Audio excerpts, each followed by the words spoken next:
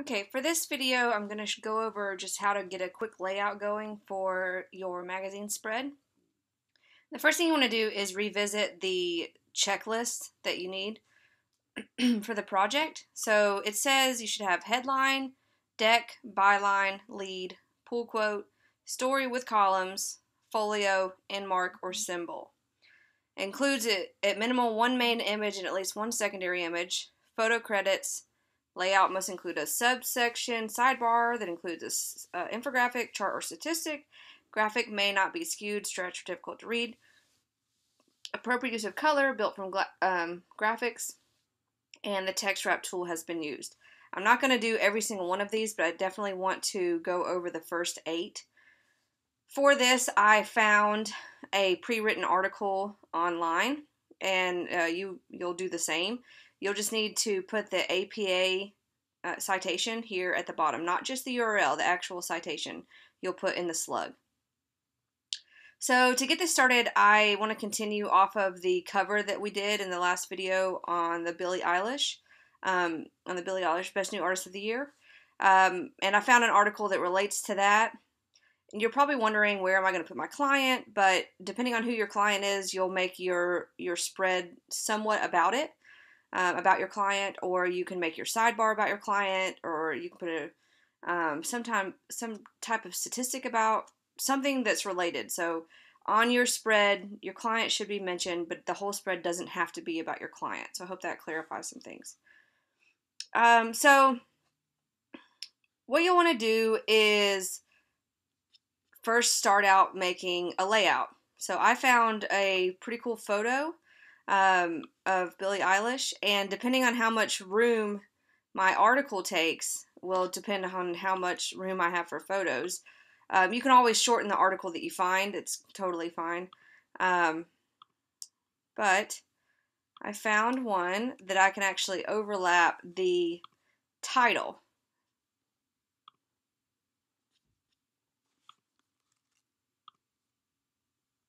So with this, with the magazine spread, you can actually have the photo stretch across your your fold line. You just want to make sure that there aren't any eyeballs or anything like that that will uh, be skewed from from doing this. And you can always use your frame to shrink the space that it takes um, to fit more room for your content. So I'm going to put the lead paragraph here with my drop cap and the deck will will come here underneath the title. And then that saves all of this space for the rest of my article. So just getting, I actually put everything into a Word document. The um, I've got the URL so I can make the citation later. I've got the title, the byline, the deck, the lead paragraph, and the rest of the article. So I can actually just copy and paste all of this and start my spread from there. It'll make it a lot easier um, to make the make your text thread. But first I'm going to start with my title.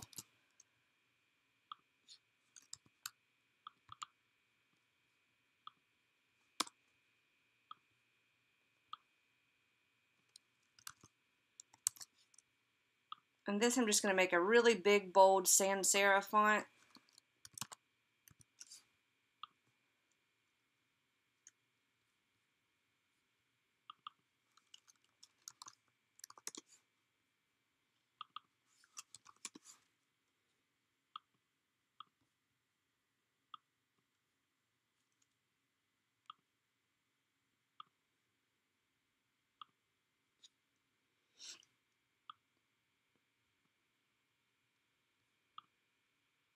And I'm going to put my byline here, which is not going to be you. It's going to be whoever wrote the article.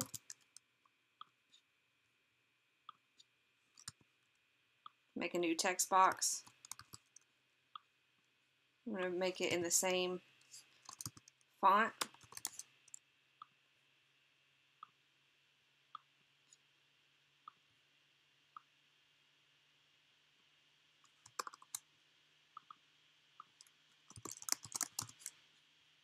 So to zoom in, I just did Command plus. You can go to View and do uh, go the shortcut. I mean, go the long way. So there's the shortcut Command equals or Command minus. Um, depending on if you have a PC or a Mac, it'll be slightly different.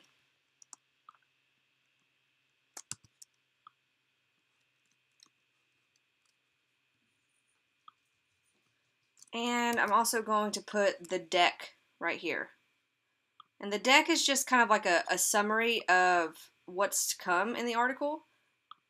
Um, whereas the lead paragraph is like your, you know, the starting paragraph of your of your article. If I can get my right screen up, sorry.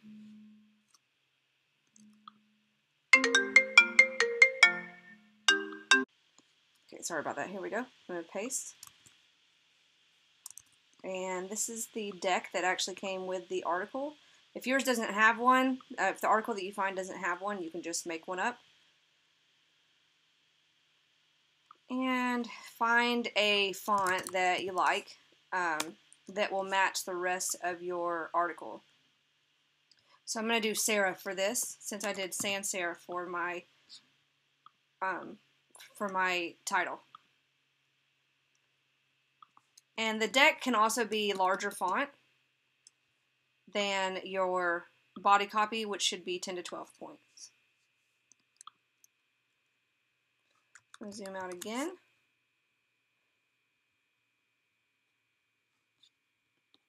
And this is where I will paste the rest of my article, and then I can add more design elements from there or take away from the article if it's just too long.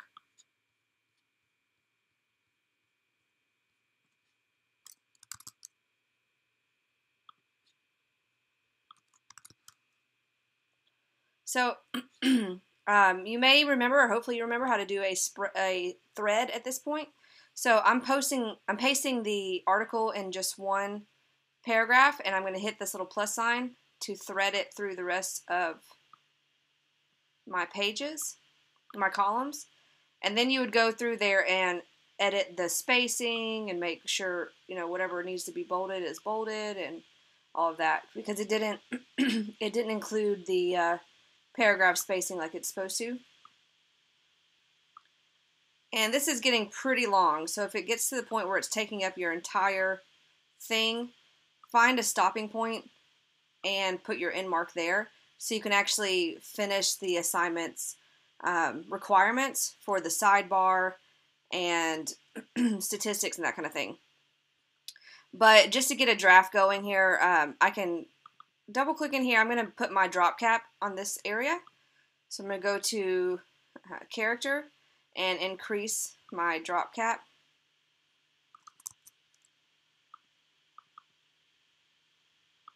Well, am I doing the wrong one? Yep, sorry. It's under paragraph. Here we go. And I don't want to do the whole thing. Sorry. I just want to do the first paragraph. So I'm going to highlight just this first part and increase from there. You only need one drop cap for your article. Um, I'm going to just pretend that it's stops at this point so I can put my sidebar over here. Um, you don't want to leave your article like this. You definitely want to go through here and add spacing through the paragraphs and also bold the questions because these are all interview questions. So going through here and you know designing it like it should be. Um, you don't want to just leave it like this. You can also, um, if you want to highlight these kind of questions, if you do an interview, there is a thing under your paragraph tools where you can do shading and you can choose a color. So if you want your text to be highlighted, you do that this way. So just choosing another color so you can see it a, bit, a little bit better. Um, you could grab from this green and repeat the green. That would actually be pretty good. I'm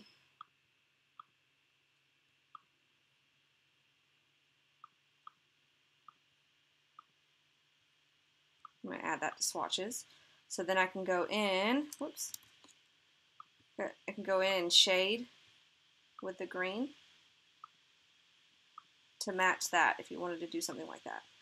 Um, again, you would go through here, just finish the formatting. You could add another photo because you do need to have at least two photos on your spread. Um, I'm going to add another a photo that I already photoshopped the background out of.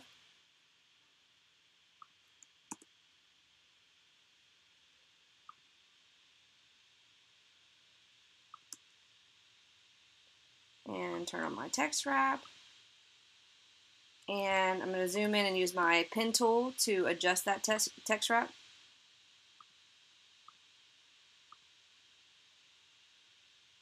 So pen tool, add some points around there so it'll wrap around her face. And then use my direct selection to grab those points and move them around her.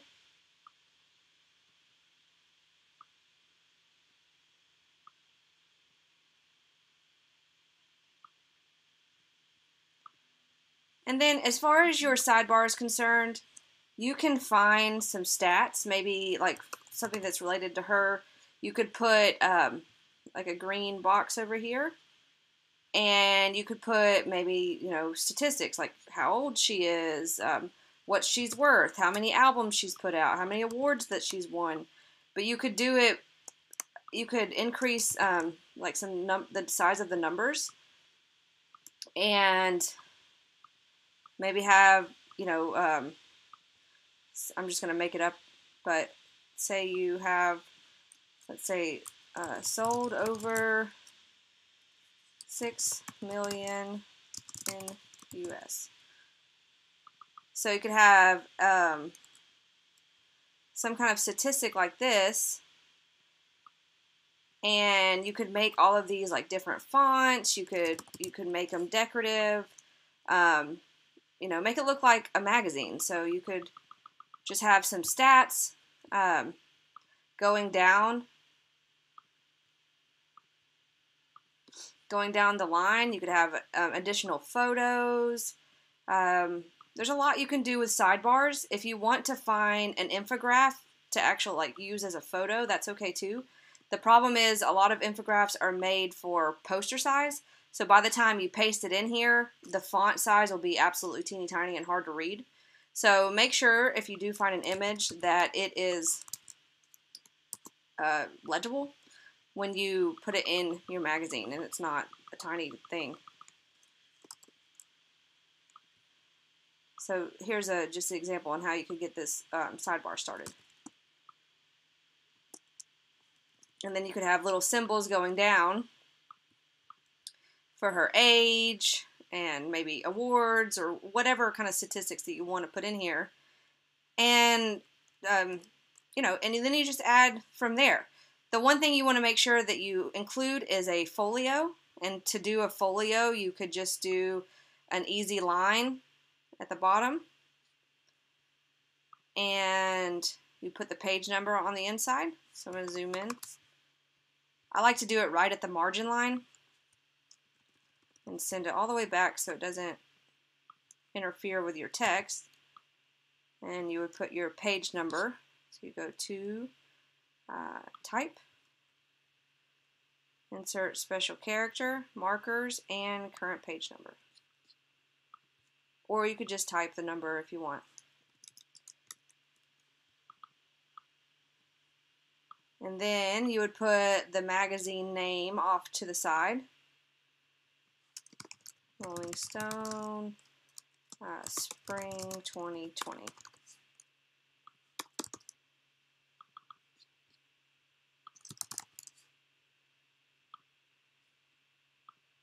And if you want to copy this onto the other side, you would just, whoops, expand that a little bit.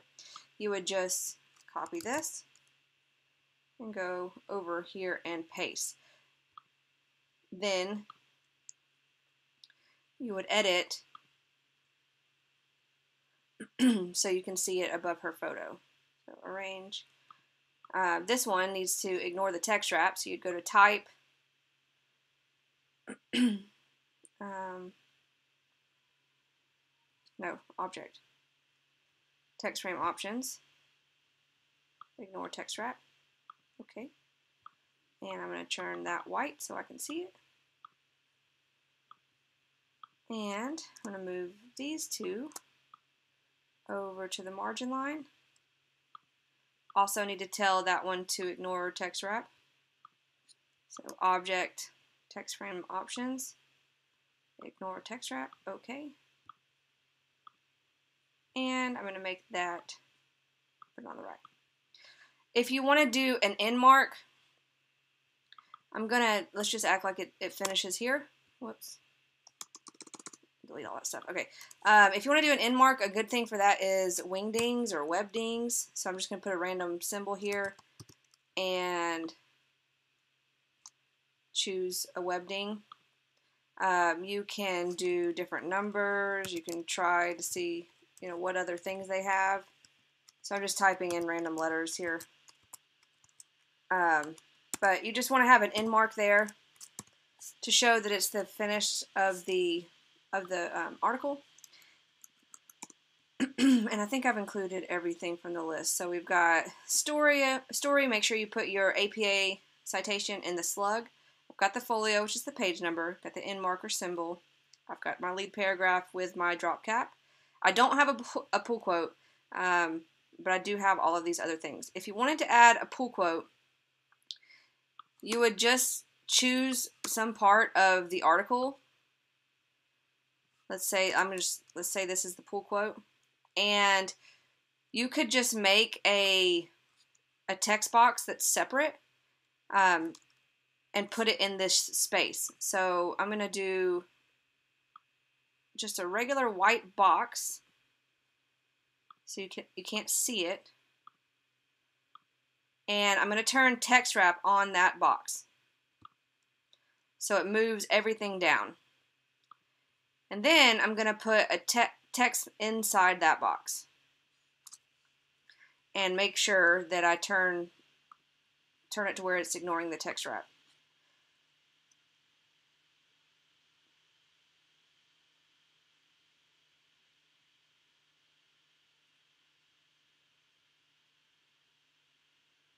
Okay, it's big responsibility, but the fans are the reason that you're anywhere, pretty much. All right, we'll just use that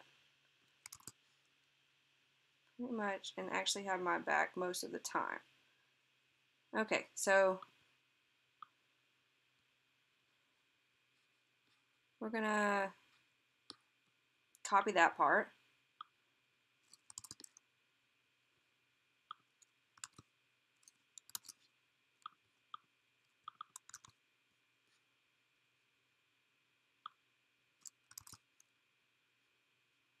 And this is where you would design this to be, you know, like a standalone quote. And you could put it in a fun font, bigger font, maybe centered, maybe also green to pull in the green from the picture.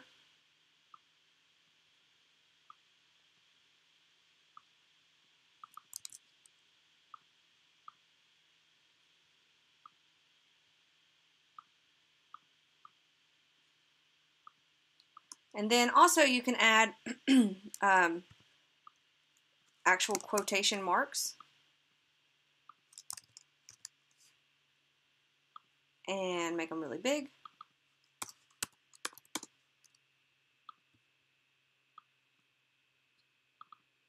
And ignore the text wrap again. So you go to Object, Text Frame Options, ignore text wrap, okay.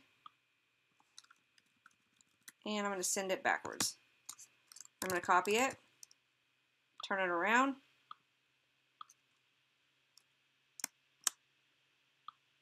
and add it to the end. All right, so this is a good enough draft for me to edit from there. Um, you know, of course, adding all of these, making them bold and all that stuff. So you still have a long way to go, but it at least gives you everything that you need for the assignment.